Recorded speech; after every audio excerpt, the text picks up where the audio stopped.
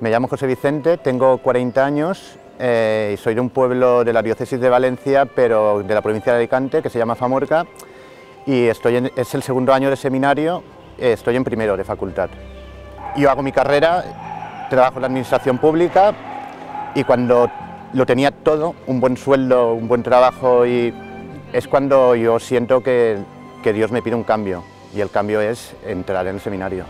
Y al final pues decidí dar el paso y vamos, muy contento y con una paz interior muy grande. Yo soy Jaume, tengo 23 años y estoy en el segundo curso de seminario. Yo no estaba en mis planes de sacerdote, o sea, a mí me iba muy bien el, los estudios, me iba muy bien con la gente, me iba muy bien donde estaba, pero a mí se me ocurría la, la, la posibilidad de ser sacerdote y me daba una de paz. Mi nombre es Bruno, tengo 23 años y, y soy de Algemesí, de aquí, de diócesis, de Valencia. Y bueno, mi vocación surge de muchos factores al final, de una historia, de una relación con el Señor que fue tomando un camino concreto y ha sido una historia y no otra, ¿no? Y notar yo de pequeño ya cómo mi corazón se inflamaba cuando entraba el sacerdote, ¿no? Soy Borja, tengo 20 años y estoy en el ter en tercer curso de, de, seminario. Este año, eh, con todo el tema de la pandemia, ¿no?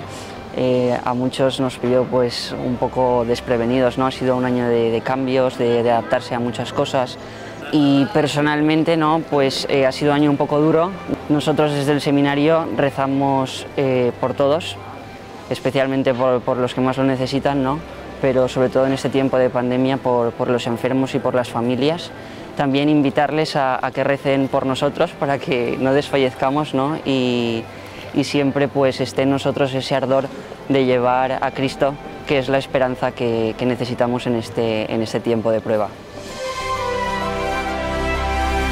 7 de marzo, Día del Seminario. Padre y hermano como San José.